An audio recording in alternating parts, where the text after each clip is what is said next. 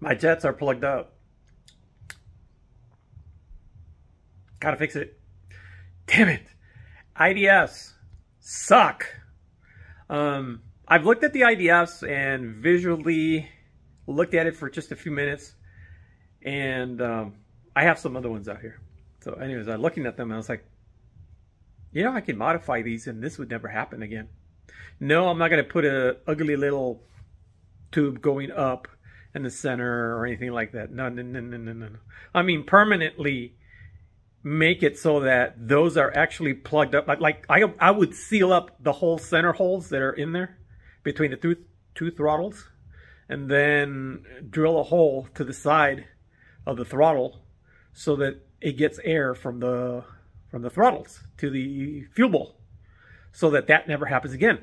You know, just like a regular carburetor. I mean, how hard could that be? Dear God, I was looking at it, I was like, you know, this is not that hard to fix. So, um, yeah, let's go ahead and uh, we're going to be working on green because they're plugged up. I've I've got one cylinder plugged up for sure. I don't know if I have another one, but um, let's get started. Uh, it's very monotonous, very very monotonous. So, a word of caution if you're gonna buy IDFs. I'm just saying. Okay, so we have a plug jet, idle jet.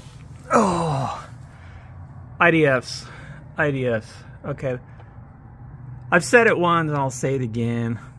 They're not. Uh, daily drivers. They're not. Okay. Uh, luckily, you know, I don't really mind. I mean, I do mind, but I, it's like, yeah, whatever. I just get it done and fixed real quick. So I turned out that, you know, I just did this, you know, did, did, did, did, and noticed the engine change in, you know, in smoothness and figured out that this guy is the one that's not doing much. So that tells me that it's, I wonder what that, which one that is. Uh, I'll ha have to go through the back and see which one's which. But it's going to be either one or two. So at least I know what carburetor, what side is doing it. Um, it's, you know, IDFs. That's what they are. It's, uh, they're racing carburetors. They're not designed to be driven all every day. Too bad, right? Too bad. It's the way they're designed in here on the inside, it's it's a really bad design. Actually, I do have a couple of ideas. Like if I was to redesign these carburetors, I would completely, completely change them so that that stuff would be incorporated inside the throttle so that it wouldn't interfere with, uh, you know, debris getting in there. But, eh, whatever. All right, so I got to figure out which one it is. Okay, turns out it's actually number two. Okie doke. So I already took out the uh, air corrector because that's the side that's uh, that has debris. So I'm gonna put in a little uh, vacuum brake uh, doodad so we can suck all the fuel from there, and then it gets better. We're gonna remove the idle jet down here. Oh boy, that idle jet right there. Oh, you can't even. I can't even. There's no room. Okay, let me take the idle jet off. Okay, I don't see anything in there. So the debris has to be in the circuit. So I have to. That's why I use the brake cleaning thing for, uh, or the brake bleeding thing, so that it sucks all the fuel out. Um, I do have the oil extractor, like like when you're changing your oil and you don't want to, you know, you just put a little thing down the engine block and suck all the oil out. It's right there. And um, I could use that, hook up the compressor to it, and it just sucks everything out of the carburetor. So, but I'm just going to keep it simple. I'm just going to grab the brake bleeder and uh, go with that. So here's my contraption. Okay, so I have my airline hooked up to the oil sucker, which we've turned into just an air sucker so that gasoline comes to here. So fuel is going to go in through there, land here, and we shouldn't get any contamination of gasoline on that uh, receiving end. Um, at least that's the idea. So I've already removed both jets. They're right there. Okay. So let's go and insert this through where that those jets go, and uh, we should be able to suck out all the back, all the uh, I was gonna say bacteria. Well, it is kind of like bacteria, right? It's my carburetor's sick, so there you go. so shit, how am I ever gonna film this? I have no idea. Perfect. So basically the way it works, I just turn this knob right here and there's suction coming out of here. All the fuel goes right there. So, well, let's see if it, I can get any.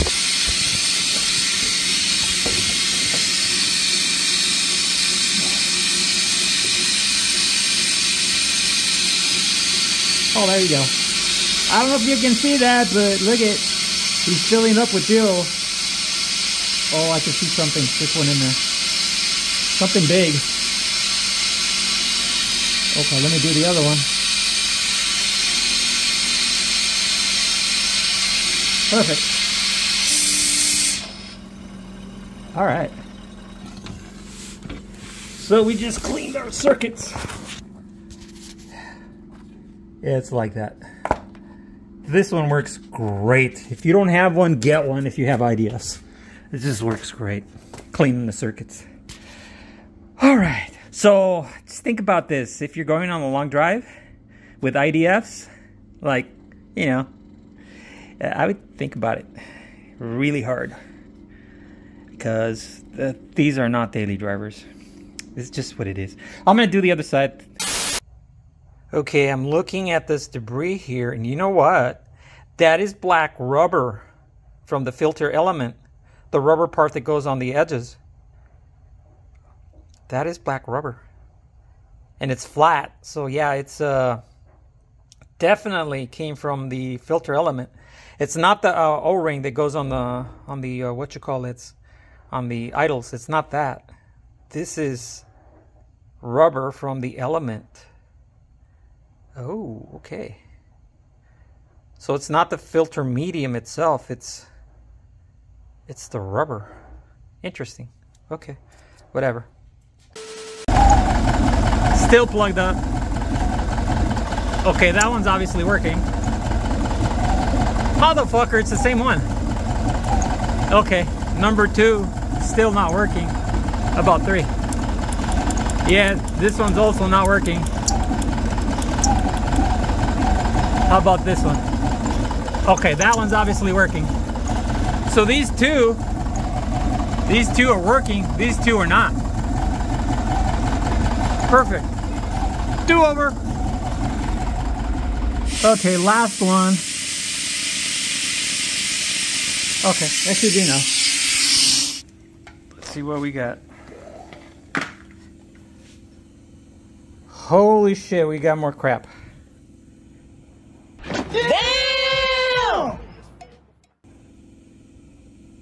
Look at all that. Okay, we had the fattest one on number four.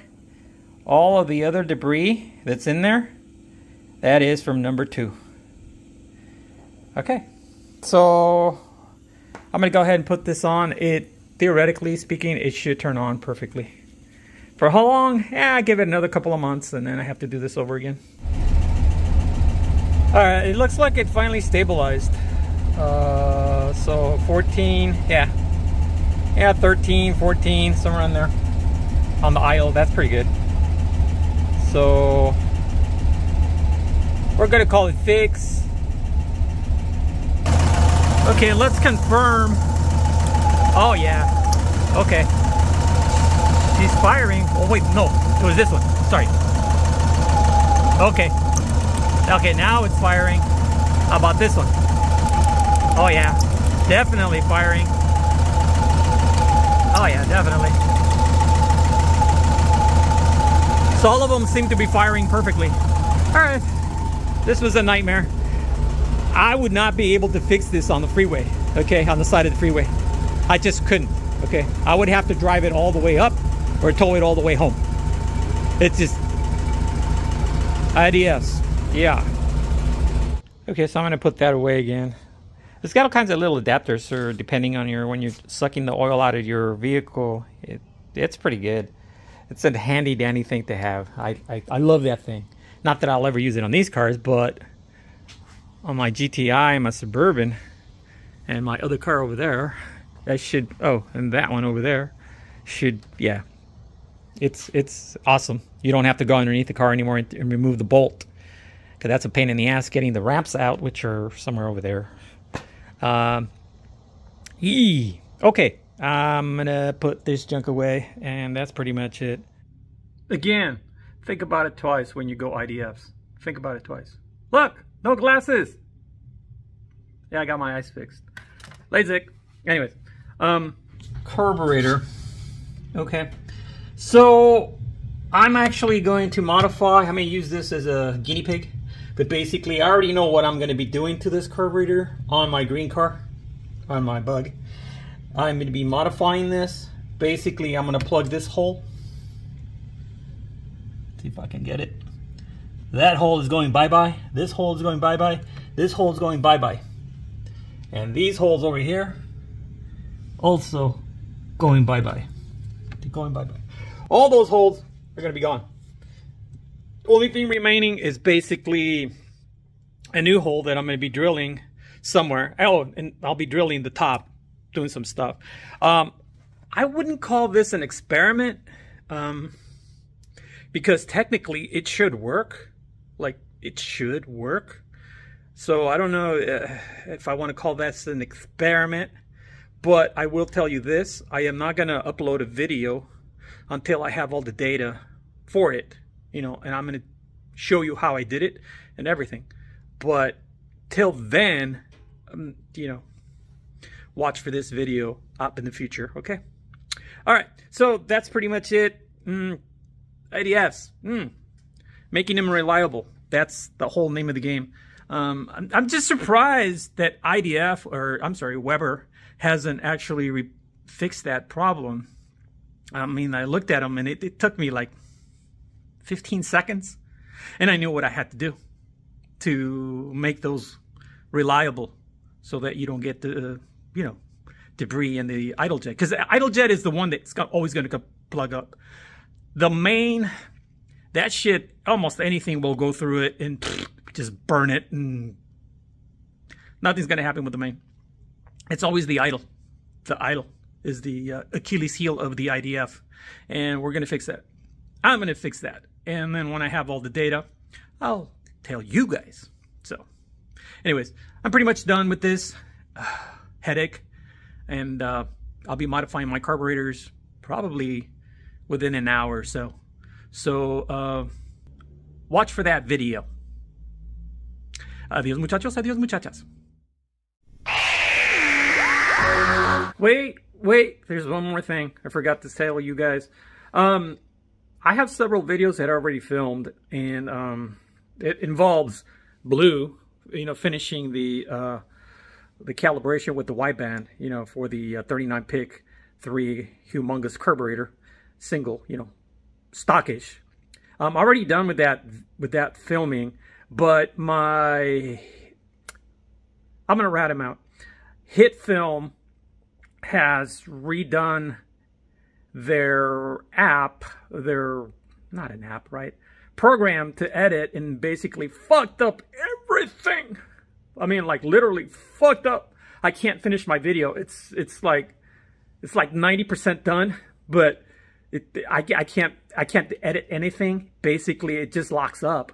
All the uh, add-ons that I got that I purchased, nothing works. It's just fucked up. So I got the new version of their HitFilm uh, editing software, and it does the same thing.